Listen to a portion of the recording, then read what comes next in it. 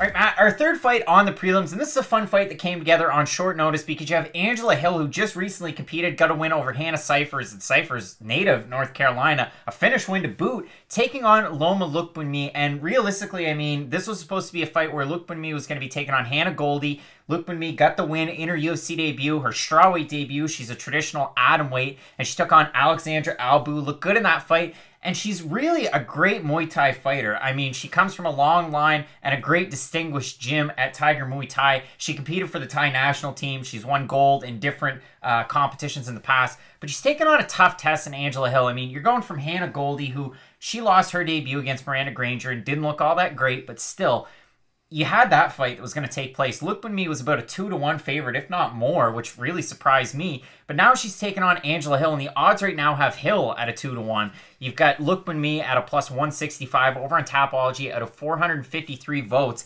77% going with Hill, 72% saying Hill's going to win a decision. Now, I'm going to let the cat out of the bag. I do think Angela Hill is going to win this fight overwhelmingly.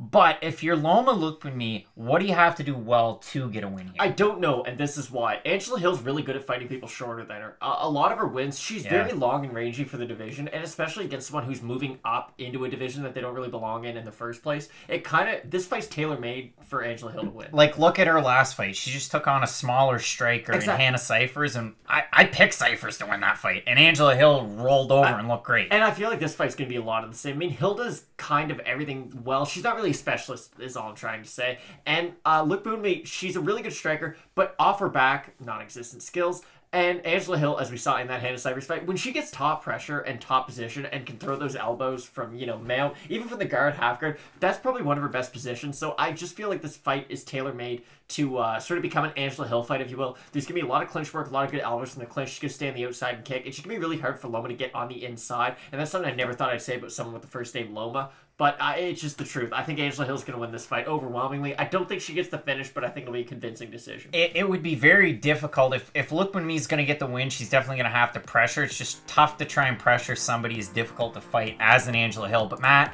you're not going to want to miss the rest of our predictions for UFC Auckland. I'm really looking forward to this So fight, but there's a lot of other great ones, so be sure to check those out. Of course, a great main event with Paul Felder and Dan Hooker. So Matt, as we always say, let's get into it.